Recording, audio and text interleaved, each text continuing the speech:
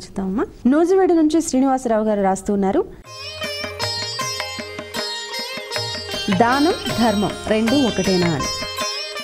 ఈ రోజుల్లో ఈ రెండు సమానార్థకాలుగా వాడడం మనం గమనిస్తూనే ఉన్నాం. మనం గుడికెడుతూ ఉంటే అక్కడ కూర్చున్న బిచ్చగాడు అంటాడు ధర్మం చేయండి బాబు అంటాడు. అంటే పక్కన ఉన్నటువంటి పిల్లలు ధర్మం అంటే డబ్బులు వేయడమా అని అడుగుతారు. సహజమే కదా? మనం వేసేదంతే. కానీ అది మాత్రమే ధర్మం కాదు. దానం అన్నది ధర్మంలో ఒక భాగం మాత్రమే. ఎందుకు ధర్మంలో ఒక భాగం అయిందంటే అసలు ధర్మం అంటే తెలియాలి కదా మనకి. ధర్మం అంటే ఒక మనిషి పుట్టిన తరువాత ఏ విధంగా ప్రవర్తించటం సహజంగా ఉంటుందో ఏ విధంగా ప్రవర్తించి తీరాలో అలా ఉండడం ధర్మం. ఉదాహరణకి పక్షులు ఎలా జీవిస్తే అన్ని పక్షులు ఒకే రకమైనటువంటి జీవన విధానాన్ని కలిగి ఉంటాయి. అది దాని ధర్మం అంటూ ఉంటాం. ఆ పక్షి వెళ్ళి ఆ పురుగుల్ని ఏదో తిందనుకోండి ఇలా ముక్కుతో పొడిచి అదేమిటి అది జీవహింస చేస్తోంది? అంటే వీడప్పటికి నాలుగు పక్షుల్ని తినుంటాడు. అయినా సరే అది జీవహింస చేస్తోందని మాట్లాడతాడు. లోకం తీరట్లా ఉంది మనకి. అన్ అన్నప్పుడు అది దాని ధర్మం అంటాం.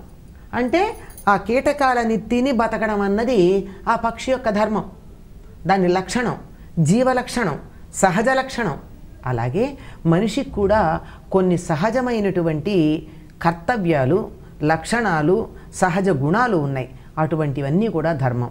చిన్నతనంలో చదువుకోవడం ధర్మం. పెద్ద అయ్యాక గృహస్థాశ్రమం స్వీకరించి పిల్లలని పెద్దలని పోషించడం ధర్మం. ఒక వయసు వచ్చిన తర్వాత తాను కుటుంబ బాధ్యతల నుండి తప్పుకుని అడిగినప్పుడు పిల్లలకి సలహాలు ఇస్తూ అంటీ ముట్టనట్టుగా ఉండడం ధర్మం. ఇది వయస్సుకు సంబంధించిన ధర్మం.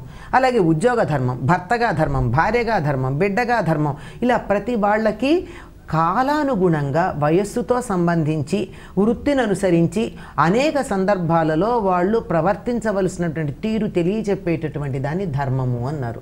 సూర్యుడు ఏ రకంగా తూర్పును ఉదయిస్తాడో నీరు ఏ విధంగా పల్లానికి ప్రవహిస్తుందో అంత సహజంగా సహజాతంగా మనిషి యొక్క ప్రవర్తన ఉండడాన్ని ధర్మంగా చెప్తారు.